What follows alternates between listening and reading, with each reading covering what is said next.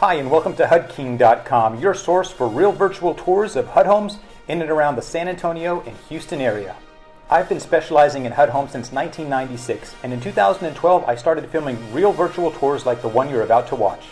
So connect with me by clicking on one of our social media links, or if you're watching this video on YouTube, click the subscribe button to be instantly notified of new uploaded videos. Now on to the home. We are here in the Glen Cairn subdivision. Glen Cairn is located on the west side of Houston, and we are standing in front of 16819 Keith Harrow.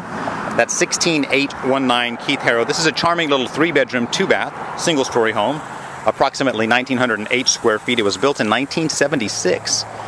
This home is about $19,000 underneath the county appraisal. It is very popular. As you can see, there are a couple of cars in the driveway. Uh, the price on this home is, is really affordable, and the fact that it's open to the $100 down payment incentive and there's repair money available, I think is another reason why this home might be really desirable because it's actually a really good layout. It's, like I said, over 1,900 square feet. Exterior of this home is a combination of brick, and it looks like they upgraded some of the siding with HardiePlank. There is a little bit of wood siding around some of the pillars, but exterior wise, in pretty good shape. It, there is a little bit of wood rot that needs to be addressed, but uh, pretty minor stuff. The roof actually looks in de- decent condition, and exterior wise, I think it just needs a little bit of power washing and some touch up paint. You actually have access into getting into your garage right from the uh, entryway here, but there's also an access door inside that'll get you into your garage. Pretty standard two car garage. Come around the corner here, and you have access into your backyard. So let's take a look at the backyard and then we'll look at the inside. Well, there are actually two ways to get into the backyard. We can step into the backyard off of your formal dining room and you step out into this little covered area. And then there's also a set of sliding glass doors off of your main family room. Now, what's kind of neat about this little layout here is you have a little covered area, but you also have these nice windows into your kitchen. So you could actually open up your kitchen. If you redid this countertop, have a really nice entertaining space on the outside, which I think would be really neat. It's a pretty modest sized backyard, not a whole lot of room.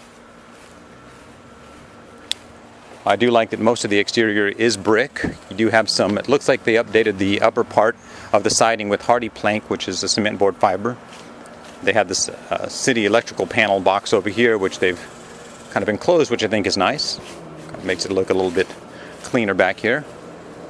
So exterior wise, a fresh coat of paint around some of the siding. Maybe clean up some of these trees. You have a pecan tree, a couple of pecan trees back here, some fig trees, which is nice.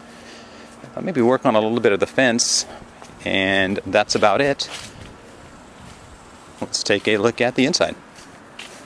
Well, as we step into the home, we are immediately into a formal dining area. We have a lower kind of living, formal living area here with a fireplace, a dining room here, Bedrooms will be down this hallway, but if we continue in, we come into your kitchen and your family room. Now, the kitchen will need some cabinetry work, it will need some ceiling work, but I like how you have these big sliding glass doors in this big living room space. You'll also want to repair that wall there. Looks like they had some wall damage. Down this part of the hallway here, we have your laundry room and a little bit of storage. To the left here, we have your master bedroom. Master bedroom is a good sized bedroom. Master bath is a little small but it's functional. You have a single vanity and you have a shower only. It does not have a tub in here. Then around the corner here we have your walk-in closet. Now down this hallway is where we'll have the additional bedrooms.